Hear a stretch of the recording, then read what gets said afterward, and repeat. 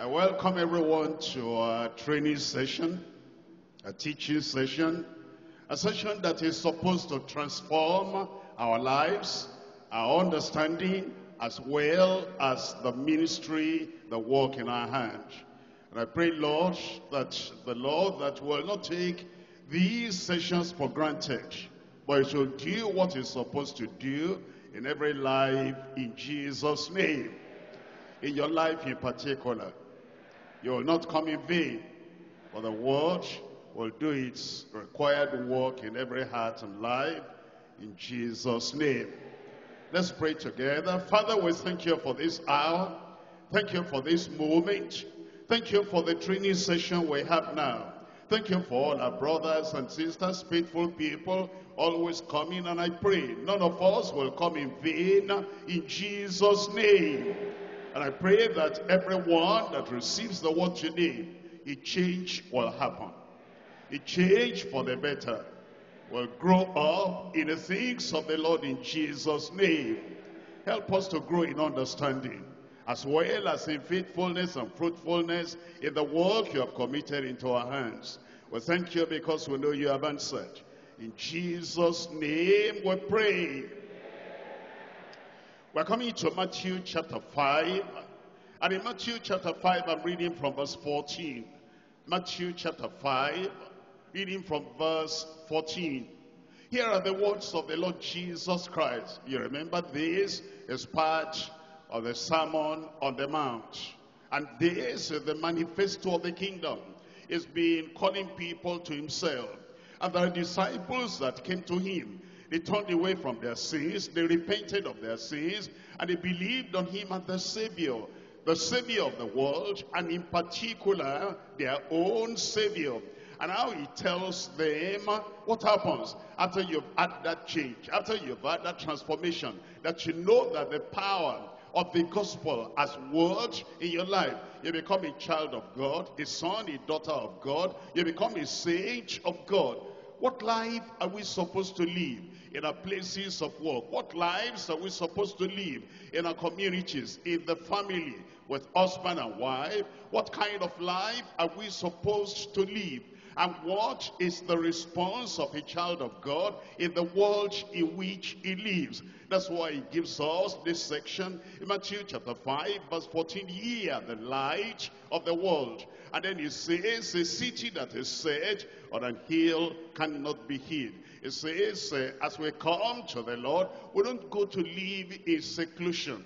We do not go to live as a hermit somewhere that will not come out and show the light of Christ. It says, we are now the light of the world. I'm sure you remember that Jesus Christ himself said, I am the light of the world. Christ is the light of the world. In a world of spiritual darkness, in a world of spiritual death, Christ himself came with the light of life.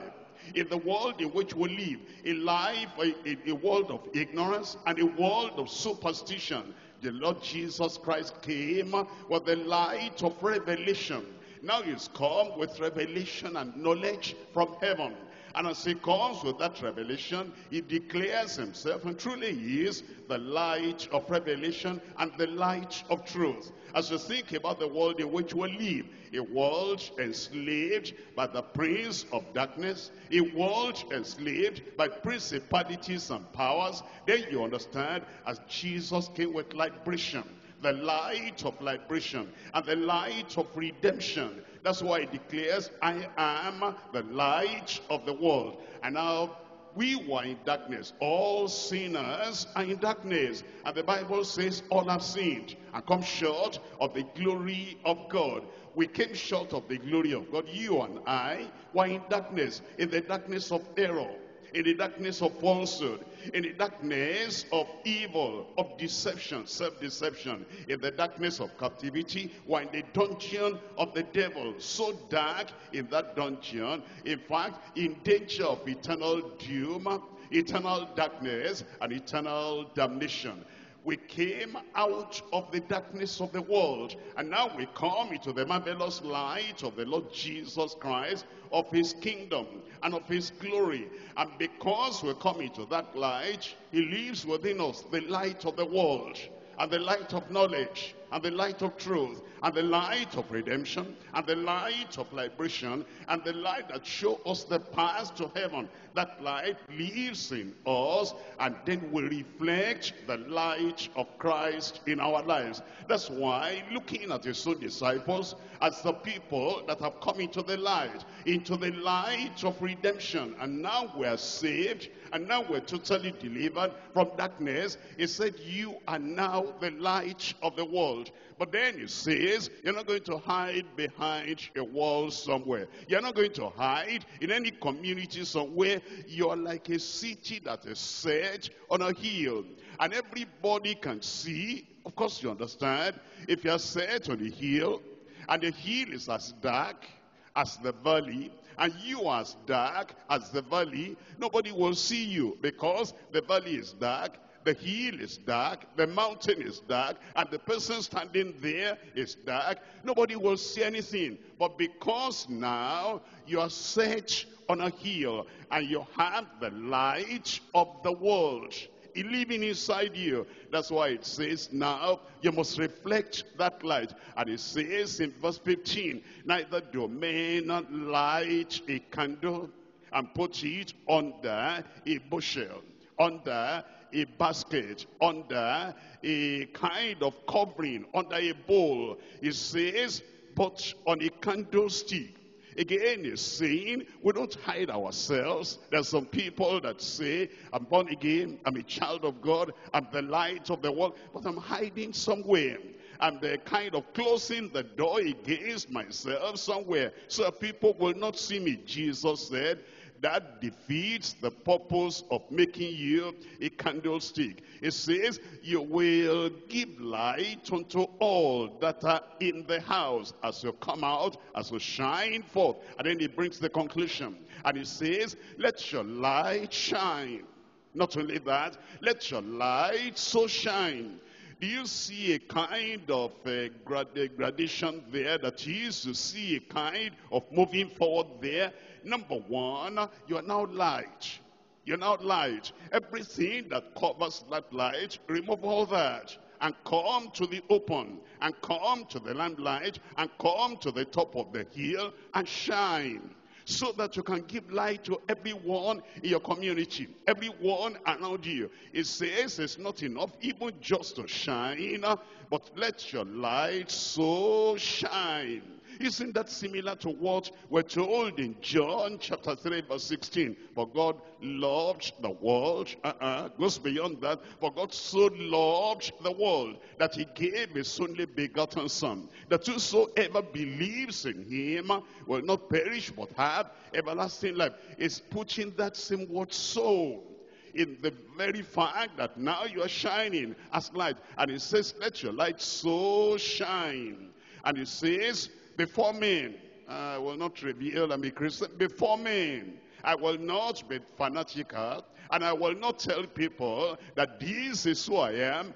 Before men, I will not reflect the doctrine I believe. I hold that to myself. I'm going to make it private. He says, no, let it so shine before men. In fact, he goes on after saying before men, he says that they may see that they may see. You see, there are people, the only verse they know in the New Testament, let not your right hand know what your left hand is doing.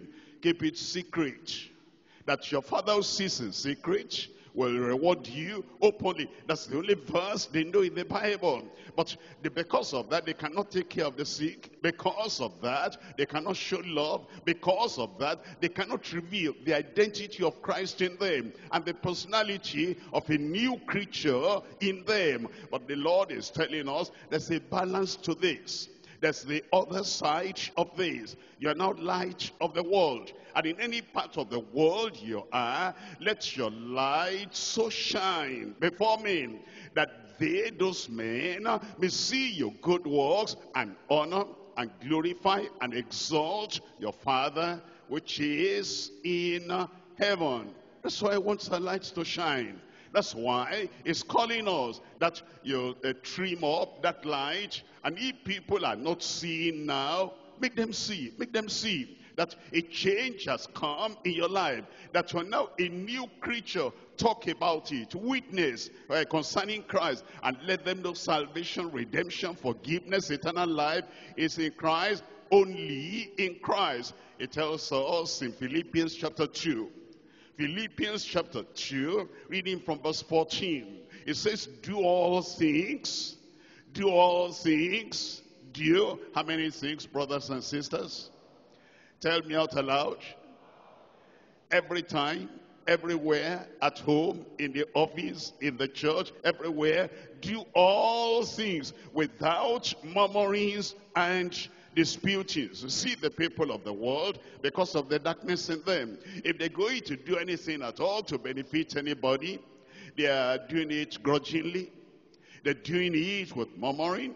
It's like somebody is pushing them to this. It's not, I, I shouldn't be here now. I shouldn't be doing this now. It's like uh, this is overtime for me. It's like, why am I here now? You have to push them you have to flatter them. You have to encourage them. You have to pull them up. You have to drag them before they will do it. And all the time, they're murmuring and complaining and grumbling. Why am I doing this? And it says, now that you are alive, now that you are a child of God, everything you do, Everywhere you are, you are excited about being a blessing to somebody else. You are excited about making your light so shine. You are excited to give what you have to other people. It says you do all things without murmurings and disputings. It says that ye may be blameless and harmless, the sons of God, without rebuke in the midst of a crooked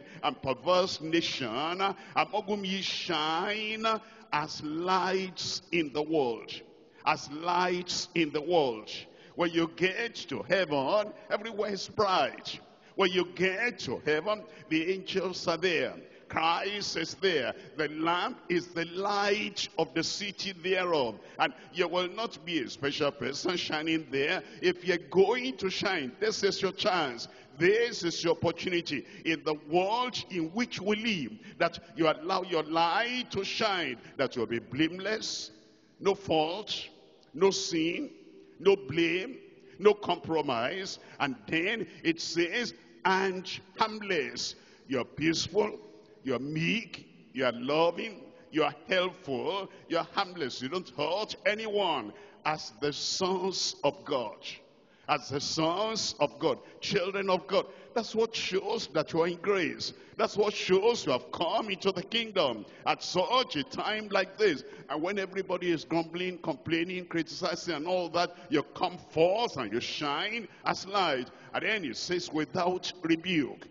As, uh, as the, in, the, in the midst of a crooked and perverse nation, a crooked and perverse nation. You understand? When you get to the office, a crooked and perverse nation. You understand? In your profession, a crooked and perverse nation. You understand? As you look at the behavior of people around, as you look at the character of people around, anywhere you are walking, anywhere you are living, a crooked and perverse nation. And now it says, don't be like them and something in you that makes you totally different. Among whom ye shine as light in the world, holding forth the word of life. That I may rejoice in the day of Christ. That is the day when Christ will come back and then give us the word. For the people we have led to the Lord because you're shining, you're shining, you're shining. And Paul the apostle said to the Philippians, you're the work and the result of my evangelization, my commitment, my yieldedness to the Lord. And in that day when you are found as light, and then you become part of the stars of the crown of Paul the apostle, it says, I will rejoice in the day of Christ that I have not run in vain. What does that mean?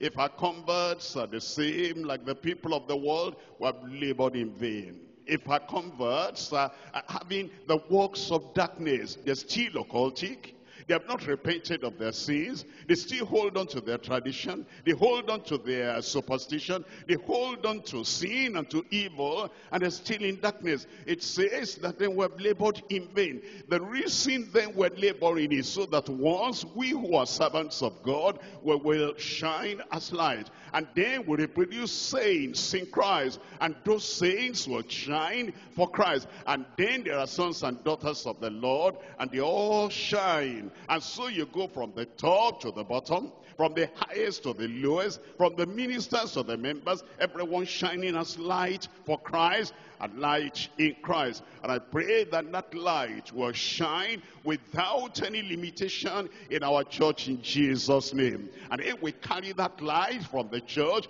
we go everywhere in our communities. And then people will see and people can tell that we are shining. Somebody there, you will shine. I said we will shine.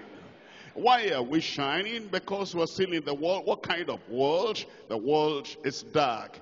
And the world needs the light. The world needs the light. If you are a child of God, if you are a saint of God, the world needs you. Not to do like they're doing, not to act like they're acting. The world needs you to shine as light. The world needs the light, the light of Christ. There are three things we're looking at. Number one, the spiritual stage of our crooked and perverse world. The world in which we live, crooked, perverse, and we need to declare, we need to detect, we need to determine the spiritual state of our crooked and perverse world. Point number two, the shining saints in a corrupt and polluted world. The world is corrupt and you think about our nation, not only our nation, the whole world. There's corruption everywhere. People have corrupted their own lifestyle, their character. They have corrupted the whole system of the world. And in the corrupt and polluted world, we need shining saints. Those who will come and make a difference in the world in which we live. The shining saints in a corrupt and polluted world. Number three, the steadfast servants. Steadfast servants. If we only just shine and not show them how the light came into us, they might appreciate us. They might praise us. They might even testify, yes, we see light is shining. They might say, you have something that I don't have. But they will not know how to get that thing.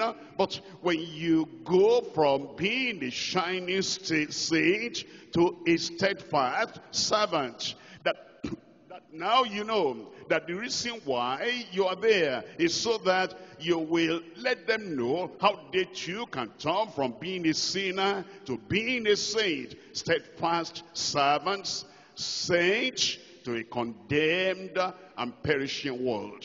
Steadfast servants, steadfast preachers, steadfast soul winners, steadfast pastors, steadfast people that reveal the mind of Christ and the way of Christ and the way of salvation to everyone around them. Steadfast servants, saints to condemned and perishing world. Number one, Number one, what's the spiritual state of this world in which we live?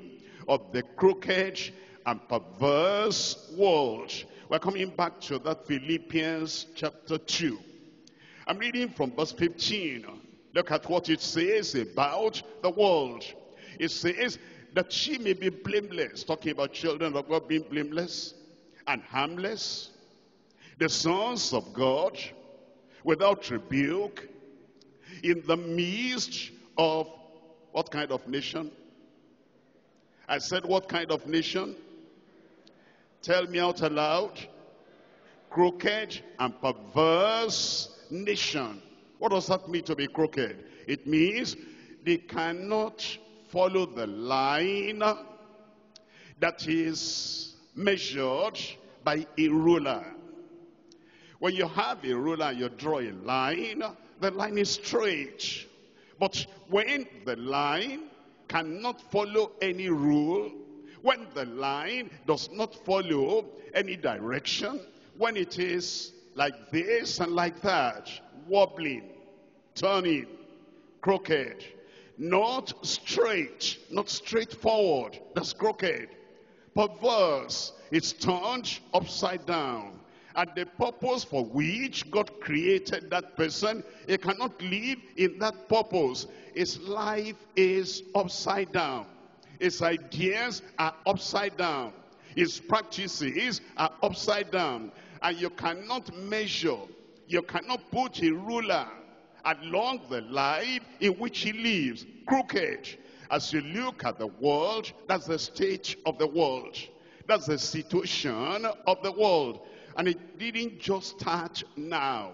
It's been like that for a long, long time. Deuteronomy chapter 32. I'm reading from verse 5. Deuteronomy chapter 32. And here we're looking at verse 5. And it tells us what kind of a world we're living in. It says they have corrupted themselves. Their sport is not the sport of his children. Their lives, their complexion, their attitude, their actions, their character. It's not like the character of the children of God that follows the rule that you can measure. You can put a ruler by their lives and everything is straight. He said, no, their life is not like that. Look at this. They are a perverse and crooked generation. A perverse and crooked generation. Among the young, crooked and perverse. Among those who are still learning and taking exams, you see the crookedness and you see the perversity of those young people. And among the people who have left school, the same thing, perverse and crooked. And as you look at workers in offices, and as you look at, uh, you know, people anywhere, you can see everything is crooked. It's a crooked. Their lives are shady. Their lives are damnable. Their lives are defiled, perverse and crooked. Psalm 73. I'm reading from verse 8. Psalm 73, the stage, spiritual stage of the crooked and perverse world. In uh, Psalm 73, verse 8, they are corrupt. It's talking about the world. They are corrupt. And they speak wickedly concerning oppression.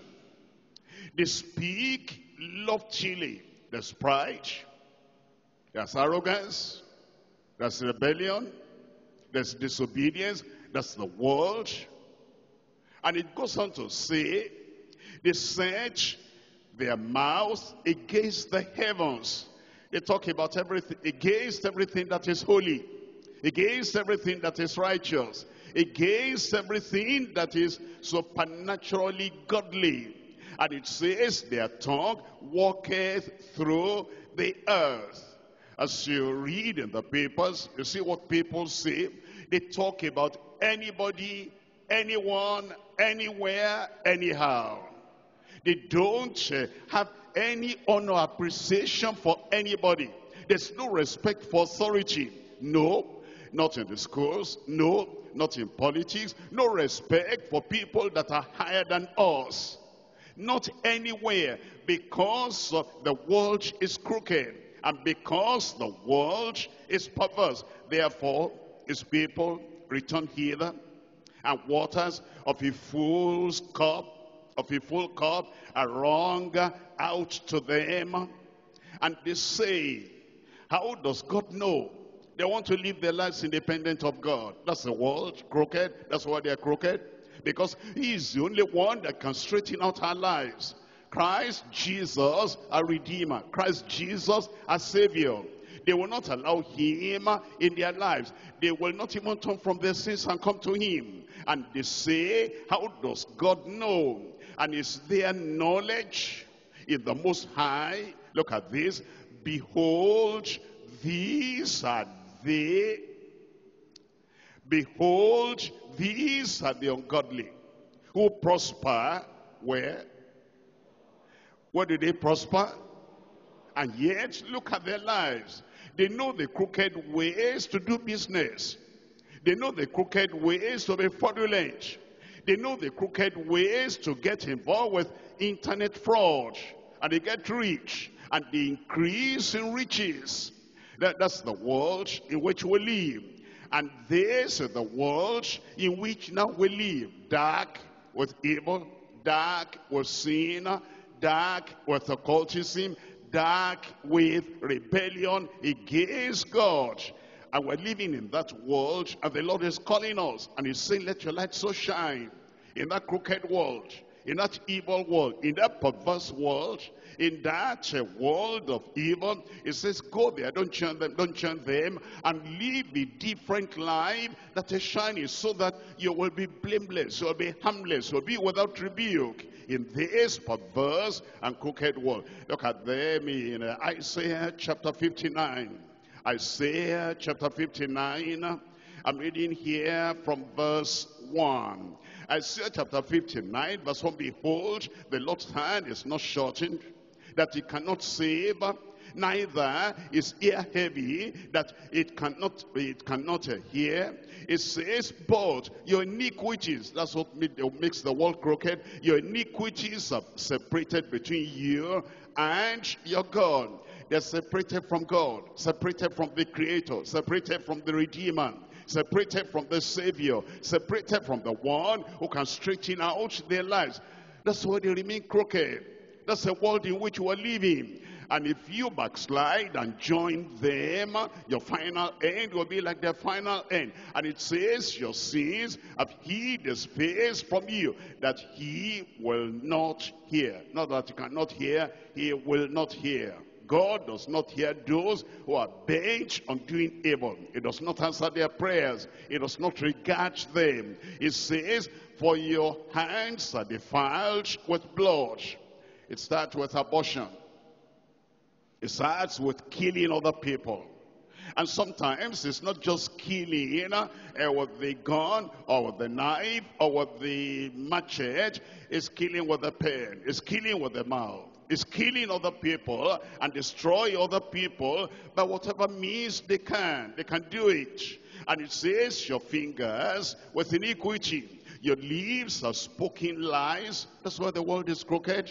The lies, the falsehood, the deception. It goes on to say, and your tongue have muttered perverseness, crooked and perverse world. None call it for justice, nor any pleaders for truth. They trust in vanity, useless things, worthless things. And it says uh, they speak, uh, they speak um, lies, and they conceive mischief and bring forth iniquity. They hatch cockatrice eggs and weave the spider's web. He that eateth of their eggs, eateth, will uh, die, dieth, and that which is crushed break, break it forth or out into a viper. Then he goes on about these people and he talks about them in their crookedness. It says in verse 12, for our transgressions are multiplied before thee, and our sins testify against us. For our transgressions our thoughts, they have not been saved, not forgiven, not cleansed, not separated from their sins and transgressions. And as our iniquities, we know, as for our iniquities, we know them. Say those people must be very dark-hearted, Old Testament people. They must be very much in spiritual darkness. Well, let's look at Romans chapter 3 and see what the New Testament says about the condition of the one who has not come to Christ and about the condition of the majority of people in the land, majority of people in the nation, majority of people in the world. It tells us in Romans chapter 3, I'm reading here from verse 10, As it is written, there's none righteous, no not one, crooked, perverse, corrupt, polluted, condemned, perishing, no one righteous. It says there is none that understandeth. There is none that seeketh after God. Maybe you think you're seeking after God. No, they're seeking after bread and butter. They're seeking after physical, material miracles. They're seeking after prosperity. They're seeking after money. And if there is no promise of money, if there's no promise of prosperity, those people will not be running to those places. If you don't uh, kind of uh, tantalize them, if you don't kind of uh, engage them in some fluffy uh, promises that God will do this, he will do this, he will do that, they will not go to those houses of worship. It's because they're hoping he'll give me this, he'll give me this, he'll give me this. They're not seeking God for who he is. They're seeking the gifts and the blessings he can give them. That's why he says, there is none that seeketh after God. The crooked in their perception of God. They're crooked in their seeking after God. It says they're all gone out of the way. All gone out of the way. They're together become unprofitable. Unprofitable for the kingdom because God cannot use in his kingdom those who are crooked, those who are perverse. And then he says, there is none that doeth good, no not one. There's none that doeth good, no, not one. Uh, there are people who are looking to, you know, some people, and then they say those people in their profession, they're always crooked, always crooked. He's talking about the whole world. Anyone who has not known Christ, anyone who has not given his life to Christ, is sinner, is crooked and perverse. A backslider is crooked and perverse. A church goer who is not born again is crooked and perverse a preacher, a pastor, a priest who is not born again and righteous from within is crooked and perverse. No matter who you are, no matter where you're walking, if you have not known Christ, you're like them. You join them. You act like them. Whatever your profession and whatever your testimony. If there's no genuine salvation, you're crooked and you're perverse. And it says their throat is an open sepulchre. With their tongues, they have used deceit. The poison of asps, a terrible snake, dangerous snake, poisonous snake, is under their lips. And then he goes on to say, whose mouth is full of cursing and bitterness. their fear, it says, uh, their feet are swift to shed blood, destruction and misery are in their ways. And it says, and the way of peace have they not known? Then it goes on to say, there is no fear of God before their eyes. Look at verse 19 now. Now, we know that what things soever the Lord says, it says to them that are under the law, that every mouth may be stopped. And tell me what you see in your Bible there. Tell me out aloud. I can't hear you. That all the world may become, tell me, guilty before God. That's the world. That's the world. Perverse and crooked. That's the state of the world. Come to First John chapter 5. First John chapter 5 we're reading from verse 19. First John chapter 5. Reading from verse 19. And we know that we are of God. If we're different from the world, we're of God. If we're born again, we're of God. If we're righteous by grace, we're of God. If we're living different from the people of the world, if we're straightforward, no more crooked, those who are crooked are unpredictable. But if our lives can be predicted, if we're straight, if we're truthful, if we're righteous, then we have God. Look at the second part of that verse 19. And uh, somebody tell me there. Somebody read it aloud. How many parts of the world? I said how many parts of the world? The whole world, the young, the old, the boys, the girls, the sons, the daughters, the students, the workers, I mean office workers, the people in the market, the people in the community, anyone that is not born again, anyone that is not born again, whatever picture they show on the outside, and whatever kind of uh, pattern they might be following on the outside, whether they're religious or irreligious. And whatever they say out of their mouth, it says the whole world lies in wickedness. That's why the spiritual state of the whole world is crooked and perverse. And now you were like that before. You were a sinner. You were lost. You were in darkness until you heard the gospel. The gospel that brought light to you. And then you decided, I see my darkness, I see my evil, I see all the corruption in my life, and you were not pretending I'm good, I'm like this, you know, my heart is plain and everything, I've never hurt anybody. If you keep on saying that, you remain in your sin and you remain without the Savior, without redemption. But now that you understand, uh, you are a sinner.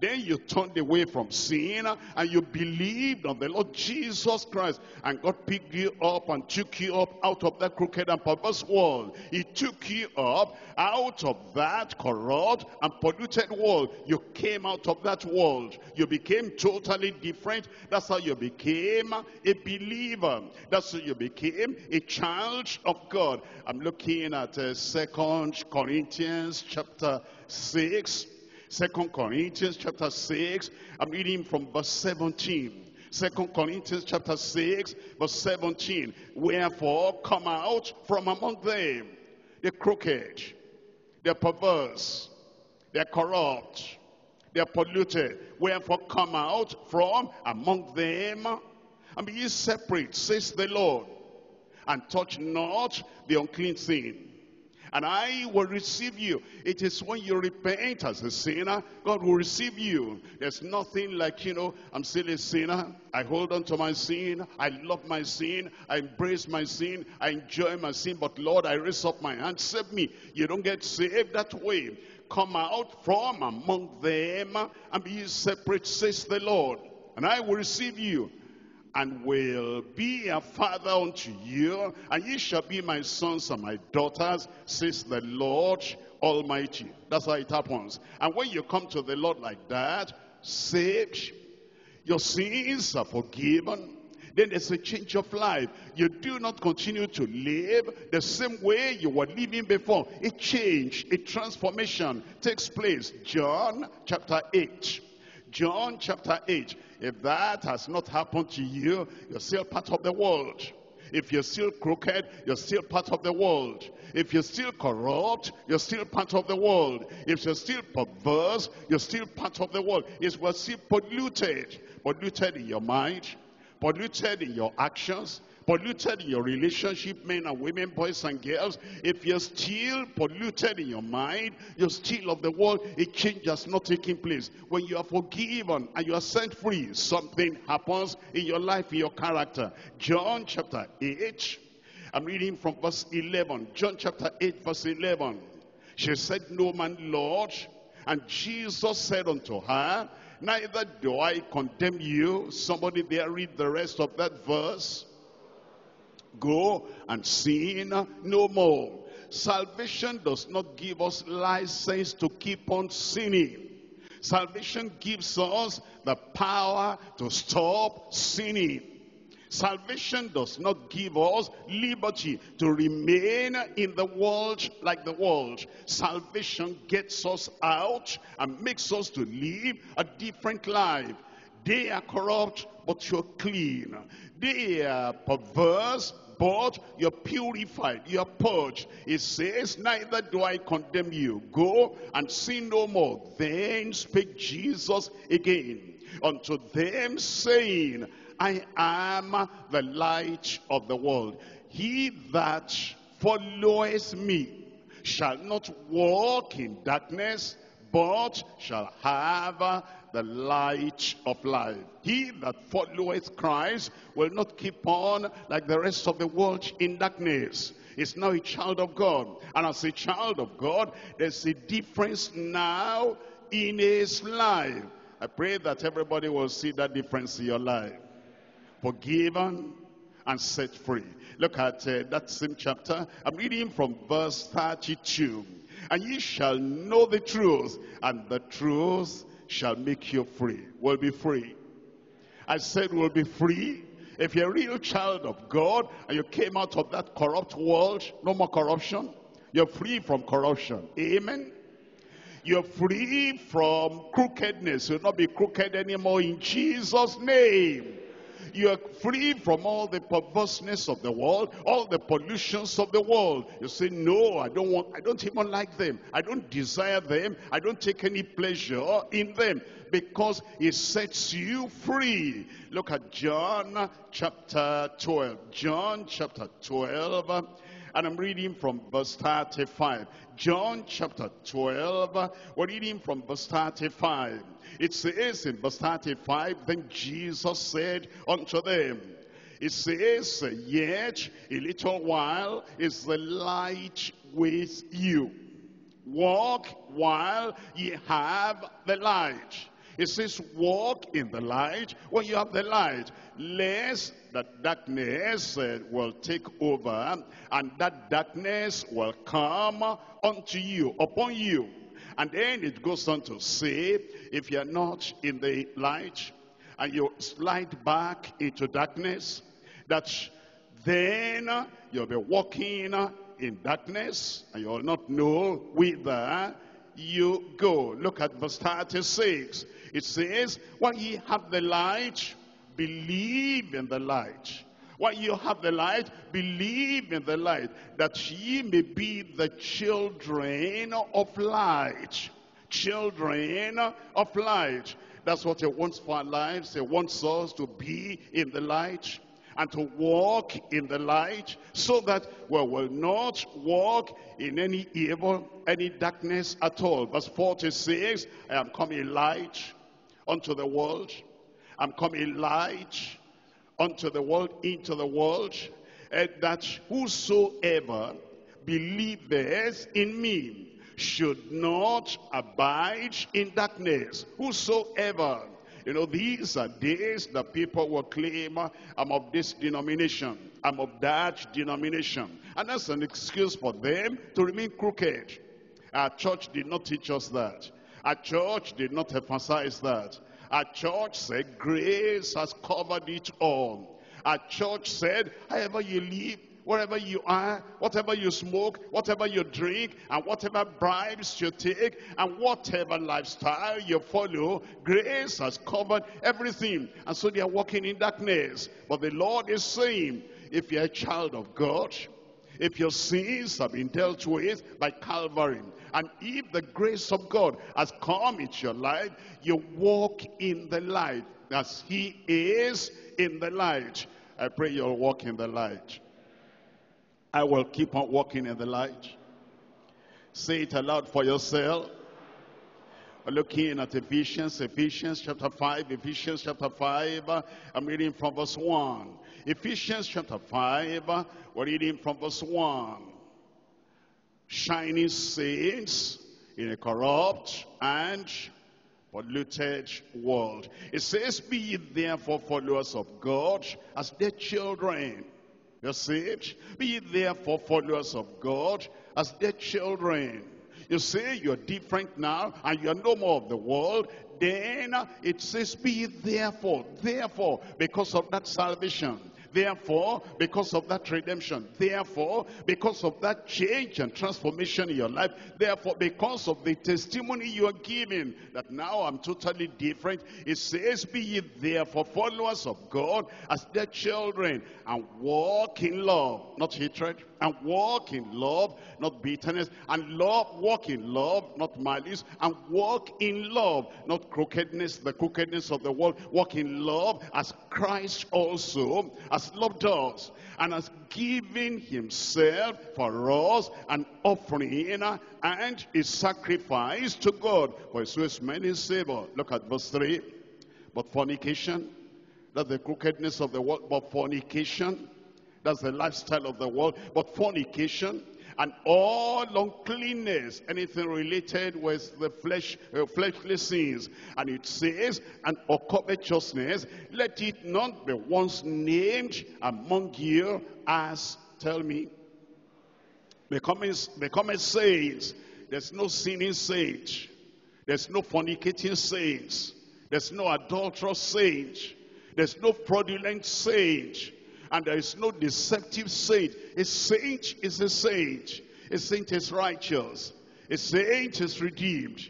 A saint has been cleansed from sin. And a saint is straightforward. A saint does business the way a child of God will do business. There's no covetous saint. It says, as becoming saints, neither filthiness, nor foolish talking, foolish talking. And there's some people that have a foolish talking, and what they say looks defiling. Their language is defiling. A man and a woman, they're together, and you, maybe the man, see some suggestive language and some defiling language that will kind of arouse evil in the heart of the woman. It may be the woman that is having some, you know, ulterior motive and is saying some things that will arouse immorality in the heart and the mind, in the emotion of the man. It says that's crookedness. That's part of the sin that it says they're perverse. Their language is not straightforward. Their language is not purifying. Their demeanor, their character, their conduct is not uplifting. It's something you have to go to uh, through the blood of Jesus. Even if you don't accept that sin, it brings something to your mind that shouldn't be in your mind when they talk, when they act, and the way they comport themselves. And maybe the way they use their body to touch your body deliberately so that you will think of evil. It says if you're saint, you're not like that. If you are like that, you are crooked and perverse. If you're like that, you are corrupt and you are polluted. And it says neither filthiness nor foolish talking nor jesting, which are not convenient, but rather the giving of thanks. But this ye know in verse 5, but this ye know that no whoremonger, nor unclean person with unclean language, unclean attitude, unclean conduct, unclean movement that arouses uncleanness in the hearts of other people. It says, no covetous man who is an idolater has any inheritance in the kingdom of Christ and of God. Let no man deceive you and don't deceive yourself. Let no man deceive you with vain words. For because of these things comes the wrath of God, the indignation of God, the judgment of God, and the anger of God upon the children of disobedience. Verse 7, verse 7, and we're going to read verse 7 together. Are you ready over there? One, two, three, go. Verse 7. Be not ye therefore partakers with them. They are corrupt. Be not ye therefore partakers with them. They are idolatrous. Be not ye therefore partakers with them. They are worldly. They are fleshly be not therefore partakers with them. They're polluted. Their mind is polluted. Their heart is corrupted. And you say you are a child of God. And you say you are a saint of God. Be not ye therefore partakers with them. You will not be like them. You'll not say, when in Babylon, do as the Babylonians do. When in Rome, do as the Romans do. Whether you're in Babylon or you're in Rome, you're a child of God, you'll be as Christ is. You'll live like Christ will live. You'll ask yourself, what will Christ do in this situation? And that's exactly what you will do. Give me a good amen. Daniel chapter 1. Daniel chapter 1. You're in Babylon. Do as a child of God should do. Live as a child of God should live. And be a shining saint in a corrupt and polluted world. We're looking at Daniel chapter 1 and I'm reading from verse 8. Daniel chapter 1, I'm reading from verse 8. In verse 8 it says, But Daniel purposed in his heart. You know, that's where it starts. You're going to the office. You know the condition of the office. You know the demands of the office. You know what they will tell you to do. Before you get to the office, you purpose in your heart. You're going to work under a boss. And you know how that boss is going to demand this, which is unholy, which is unrighteous, which is unchristianly. And you will make up your mind before you get to that boss. You know the temptation in the office. You know the temptation in your community. Before you are encountered, uh, you, before you encounter that temptation, you make up your mind and you purpose in your heart, this is where, how I'm going to be. You're going to university. You're going to a college. And and you know how the gangs are there, the calls are there, and all the crooked people are there. You make up your mind, I'm going to study. And I'm not going for this, I'm not going for that. Your purpose in your heart. You want to be in the midst of some people that although they read the Bible, and they have forgotten the standard of the Bible. They cut corners. They are fraudulent. They are liars. They are deceivers. They are backsliders. Although they talk Christianity, although they say they are this and they are that, that, they do not have the real conviction that what they read in the Bible is like that 100% that God will judge on righteousness. Before you get in their midst, if you have to be in their midst, if you have to walk there, you have to make up your mind, your purpose in your heart. I'm going to be a shining saint. I'm going to be a different person. I'm going to be somebody upholding the word of God anywhere, everywhere I go. But Daniel purposed in his heart that he would not defile himself with the portion of the king's meat, nor with the wine which he drank. Therefore, he requested of the priests, the eunuchs, that he will not that he will not come with me, that he will not, scholarship may come, that he will not, they may say, remember you in Babylon, that he will not. Remember, everybody is doing it, that he will not defile himself. I will not defile myself. I said I will not defile myself. I will not respect a Babylonian so much that I let go the God. I will not respect a highly placed Nebuchadnezzar so much that I let go my conviction. I will not respect any friendly person so much that I say, because of the respect I have for him, because of the respect I have for her, I will let down my standard. He said, I will not defile myself. You will not defile yourself. In this crooked world, you will not defile yourself. Let me hear Deeper Life headquarters. Amen. I'm looking at Daniel chapter 3. Daniel chapter 3. And I'm reading here from verse 14.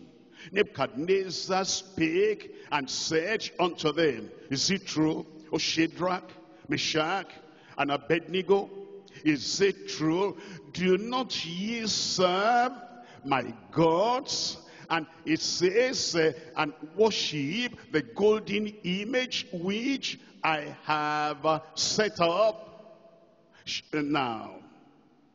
If ye be ready to change your mind, you will not change your mind. You're a saint, you'll always be a saint. Shining, you'll always be shining. What you hear in church, what you pray in church, what you committed your life to in church, when you get to the office, you will uphold it. The amen is too weak for me. Now, now, now, in verse 15, if ye be ready, that at what time ye hear the sound of the cornet, then it goes on, Babylonian music, ye fall down and uh, worship well. But if ye worship not, ye shall be cast the same hour into the midst of a burning very furnace. Look up here. Nebuchadnezzar knew only of one kind of fire. Babylon knew only one kind of furnace. But you understand, Shadrach, Meshach, and Abednego knew about another fire, another furnace. That one is eternal. That one is on the other side that one whosoever is not born again, whosoever is not righteous, whosoever remains crooked and perverse until death will get to that furnace. And because he only knew one furnace, the furnace of his making, he said, anytime you hear that, no, that music, if you fall down, that's okay. If you compromise, that's okay. If you forget church, that's okay. If you forget Bible, that's okay. If you forget standard, that's okay. If you forget the faith once delivered unto the saints, that will be all right. But if you say you're holding on, you will not compromise. You will suffer because there is a furnace of fire you know, it's ignorant of the other, of the other furnace of fire, and I will cast you inside there. And then he said, if he does that, who is that God that shall deliver you out of my hands? It's at such a time, because of pain. It's at such a time, because of rejection. It's at such a time, because of threatening. It's at such a time, because you're going to lose your job. You're going to lose your position. We're going to take that your wife away from you. If you don't worship idol, the idol of the family. It's at such a time when they are threatening, they'll say, okay, okay, I'm sorry. They're saying, I'm sorry to Nebuchadnezzar. I'm sorry to the devil. I'm sorry to the demons. I'm sorry to the crooked and perverse one. It's a sort time they bend, they bow. It's a sort time they compromise. But Shadrach, Meshach, and Abednego, they will not bow. You will not bow. You will not bend. It says, Shadrach, Meshach, and Abednego, verse 16, answered and said to the king, O Nebuchadnezzar, we're not careful O Nebuchadnezzar, here we are, and we're not anxious, we're not fearful, we're not trembling, we're not timid, we're not afraid of you, we're not careful to answer thee in this matter. If it be so, our God, whom we serve, will, is able to deliver us. Our God, whom we serve, Thank God our God is mighty. Thank God our God will protect us. Thank God our God will preserve us. If there is no challenge, how do you know the power of God? If there is no test, how do you have a testimony? If there's no Nebuchadnezzar and his furnace, how do you know that the promise of Isaiah chapter 43, chapter 44 will be fulfilled on you? A God who we serve is able to deliver us from the burning fiery furnace and he will deliver us. And he will deliver me.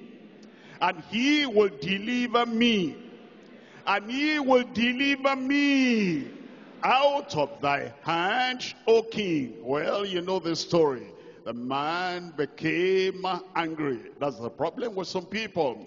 They don't want their boss to be angry. They don't want the idol worshiper to be angry. They don't want uh, that fake friend to be angry. They don't want that uh, gang leader to be angry at them. They don't want anybody in their community to be angry at them. They don't want the politician to be angry at them. They don't want anybody anywhere to be angry to be angry with them. They're so used to well done how are you there? How nice is everything? They're so used to yes, sir, yes, sir, yes, sir, yes, ma'am, yes, madam. And they can never say no for their soul's sake. If you don't learn to say no to Nebuchadnezzar, and because of his very furnace, you will go to the other furnace, which is forever and ever. I've made up my mind, I will not go to hell. I will not go to hell for Nebuchadnezzar. I said I will not go to hell for Nebuchadnezzar. If you have to pass through that furnace, go ahead, go ahead. And go through that fire, it will not burn you. It will not destroy you you will take your stand as a shining sage in a crooked and corrupt and perverse and polluted world. Eventually, you know the story. They went into that fire. And then Jesus came there, the fourth person. He came there. He was with them. He will be with you. Where are you? I said he will be with you you will not compromise. Look at verse 26. I'm reading verse 26 here. It says, Then Nebuchadnezzar came near to the mouth of the burning fiery furnace. And he spake and said, Shadrach, Meshach, Abednego, ye servants of the most high God, these are shining saints, uncompromising saints, come forth. And he came forth, they came hither, and then it says Shadrach, Meshach, and Abednego came out, came forth to out of the uh, furnace and then uh, he looked at them. As he looked at them, uh, he gave testimony later and he said, therefore, in verse 29, I make a decree. Therefore, I make a decree that uh, in every, every people, nation, language, which speak anything against the God of Shadrach, Meshach, and Abednego shall be cut in pieces, and their houses shall be made a dunghill. Why? Because there's the effect of shining, because there's the effect of not compromising, because this effect of saying no, no, no to Nebuchadnezzar, and no to the compromiser and no to the one that want to pull you into idol worship. This is the result because there is no other God that can deliver after this sort. It brought a testimony. Your life will bring a testimony. It will make the people who have never seen, it will make them to see in Jesus' name. Daniel chapter 6, Daniel chapter 6. I'm reading here from verse 4. Daniel chapter 6, reading from verse 4. Then the presidents and the princes sought to find occasion against Daniel concerning the kingdom that they and they could not they could find no occasion, no fault. That's a shining saint. That's a sanctified saint. When they cannot find fault, if you are working in, in the accounts department in your place of work, they come to edit your work. They cannot find fault. If you're a teacher in a school, your relationship with the boys and the girls, they examine you. They cannot find fault. If you are supervising examination, and those uh, young people contribute money because they want, uh, you know, you not to supervise very well. When a higher supervisor comes, he cannot find fault with you. If you're working on anything and they come to examine that thing after you said you are finished, they cannot find any fault. That's a sage. That's a child of God. That wherever you are, you are shining forth the light of the gospel and the light of faithfulness. And he found no occasion of fault, for as much as he was faithful, neither was there any error or fault found in him. And then they made an edict. Anybody who prays to God all these 30 days will be thrown into the lion's den. He knew that. But he made up his mind, what is right, I will always do. Whatever the consequence, whatever the repercussion, whatever their edict, whatever is right, at home, in church, in Babylon, in Rome, in the office, whatever is right, that I will do. That's a shining saint, not a person that is looking at the wind that blows, not a person that is saying, uh, if they come this way, I think I have to be intelligent and come that way. It's a person that goes a straight line, and you can put the ruler across the line in which he's walking. And so, when Daniel knew that that was the edict, look at verse 10, and uh, now when Daniel had known, when he knew that the, that uh, the seal was signed, that is the writing was signed. He went into his house and his windows being open at his, in his chamber toward Jerusalem. He, what did he do? Kneeled upon his knees. You know, I cannot close my eyes at this time there's insecurity. I cannot go to Bible study at this time. There's insecurity. I cannot preach at this time. There's insecurity. I cannot uh, kneel down at this time, be bending down. I cannot do it the way I used to do it because, you know, it's dangerous. Not, not Daniel. Not Daniel. He made up his mind. You'll make up your mind. I'm talking to you. I said, you'll make up your mind. He kneeled upon his knees three times a day three times a day. Let me minimize my consecration, minimize my commitment, minimize the times I go to worship, minimize the times I kneel down, because now things are different now. And this year is not like last year. And this period, look at this period now. There's something going on there, something there, something there. I cannot be like before. Not Daniel. Three times a day, he knelt down upon his knees and he prayed and he gave thanks, he gave thanks, he gave thanks. He didn't question God, God, why did you allow this? God, why is this like this? Why is this like that? Why is this in this country where you have brought us now? Why are things? No question, no question. He gave thanks before his God as he did. Tell me. Tell me now as he did at all time. And then the people who were watching, they saw what they wanted to see, and they cast him into the lion's den. But the lion could not bite that man. The lion of this world will not be able to bite you in Jesus' name. And the king came the following morning, Daniel, Daniel, Daniel, are you still there? Or you are dead? Fanaticism has killed you. Religion has killed you. I will not compromise has killed you. Consecration has killed you. Verse 22, my God has sent his angel and has shut the lion's mouth that they have not hurt me for as much as before him innocency was found in me. Also before thee, O king, have I done no hurt. And that made that king to write an edict that anybody that says anything against the God of Daniel will be cast into this and that. It brought a testimony. Your life will bring a testimony. You're working in an office, they can hardly know that you're a Christian. They can hardly know that you're a saint. And you're moving somewhere in the community, they can hardly tell that you're a real child of God. They will tell from today. Daniel chapter 12, Daniel chapter 12, I'm reading from verse 3. And they that be wise shall shine as the firmament, as the brightness of the firmament, and they that turn many to righteousness as the stars forever and ever. As the stars forever and ever. That's what the Lord is expecting of you, of me, of us, that will turn many to righteousness in Jesus' name. Shining saints, yes.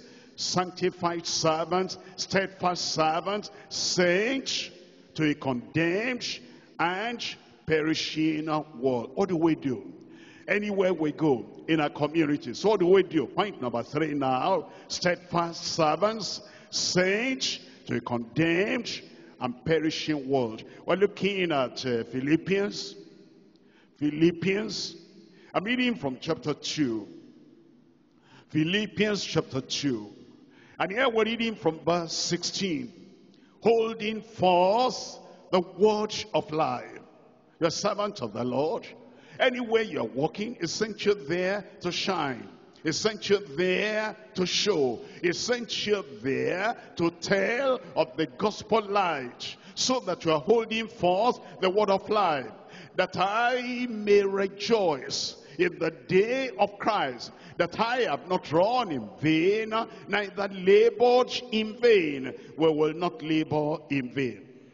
I said we will not labor in vain. He has sent us there because he knows there are perishing people there and he doesn't want anyone to perish. He has sent us so that we can declare the word of God unto the people and the people will not perish while you are preaching to them, witnessing unto them in Jesus' name. Look at Second Peter chapter 3. Second Peter chapter 3 and I'm reading from verse uh, 9. The Lord is not slack concerning his promise. As some men count slackness, but is long suffering towards what?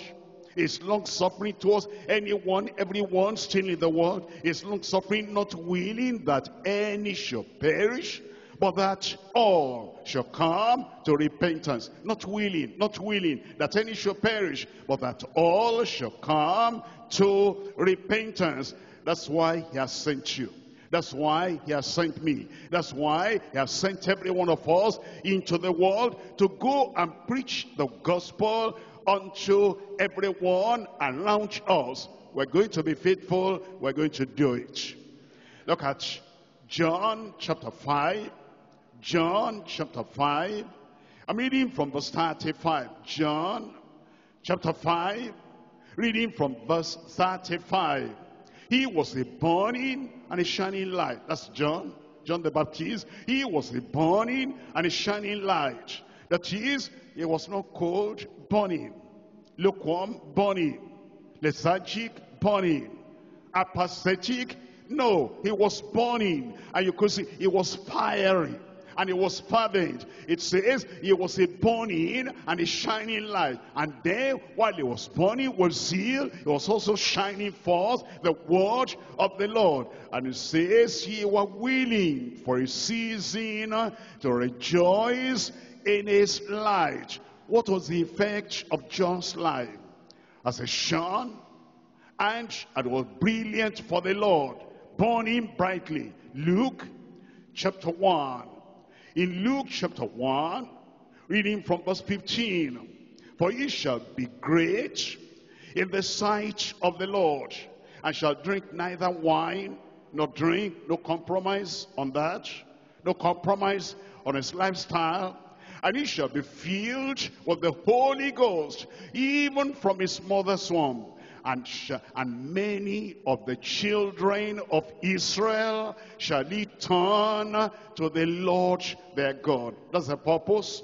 That's the reason. Many of the children of Israel shall turn unto the Lord. If that spirit will come upon you tonight, I pray it will come upon you tonight. That anywhere you go, you'll be a burning light and a shining light. And many will you turn to the Lord in Jesus' name and he shall go before him in the spirit and power of Elias to turn, to turn, to turn the hearts of the fathers to the children and the disobedient to the wisdom of the just to make ready a people prepared for the Lord. That's the goal. That's the goal. We're in a world and you know the spiritual state of the world and we're here as saints of God, as sons and daughters of God, as children of God, we're going forth anywhere we go now, anywhere we are, will be a burning and a shining light.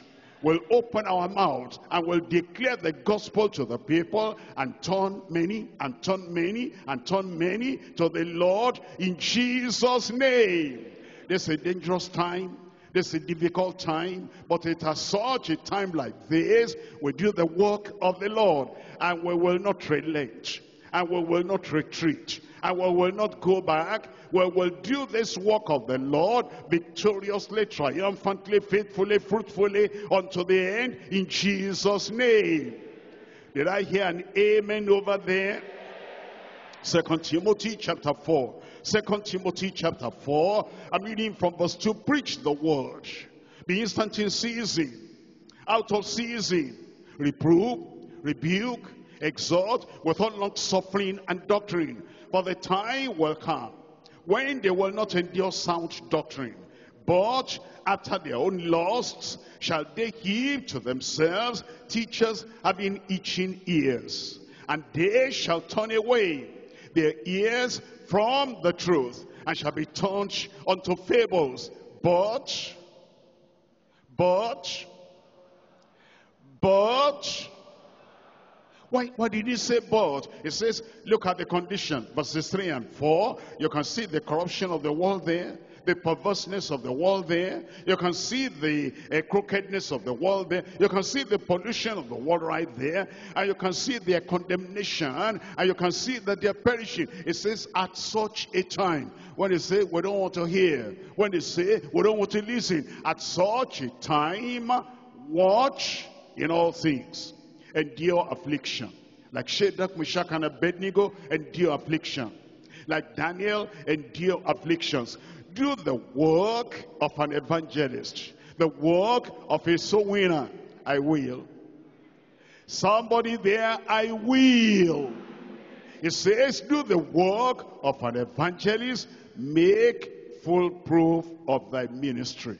You are consecrated, make the proof, show the proof of the consecration you are surrendered to the Lord, show the proof of that absolute surrender to the Lord. You are submissive to the will of God, show the proof of that submission to the will of God. You're a worker, you're a servant, you're a soul winner, you're a preacher, you're a pastor, you're an evangelist. Show the proof and go into the world and remain faithful. Whatever may surround you, make full proof of your ministry. I will do it. I said, I will do it. Rise up and tell the Lord, that's what I'll do. That's what I'll do. I'll be steadfast as a servant of God. I'll be shining as a saint of God. I will not be like the world. I will not act like the world. I will not uh, behave like the world. I'll not be lukewarm like the world. I will do what the Lord has sent me to do. And this work will prosper in our hands. This work will prosper in our hands. Shining saints, steadfast servants, promise the Lord, we will do what you have called us to do. And let him give you more grace tonight, more strength tonight, more power tonight, and more commitment tonight to go ahead and to be different from the world and to do what the Lord has called you to do. Shine and speak for the glory of God.